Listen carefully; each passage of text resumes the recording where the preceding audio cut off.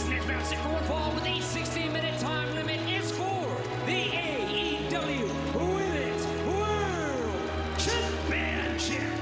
Introducing the challenger from Gold Coast, Australia, Toni Storm.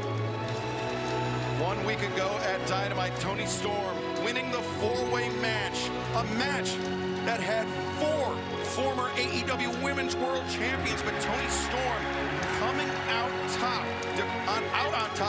top, defeating Hikaru Shida, Nyla Rose, and Dr. Britt Baker, DMD. No small feat, Taz. No, no small feat at all. I mean, that, these women battled, and it was hellacious. Toni Storm ends up on top. And I got to tell you, her entrance, Schiavone, does it remind you of the 1920s stuff when you were in high school? Yeah, back when I was actually junior high in the 20s. But Toni Storm taking center stage a week ago. Will that be the case tonight on Dynamite when she challenges her former partner, Saraya, for the AEW Women's World Championship? Poor Tony, she has just gone bye-bye. Oh, she's, well, yeah, maybe a little. Could be right. A lot.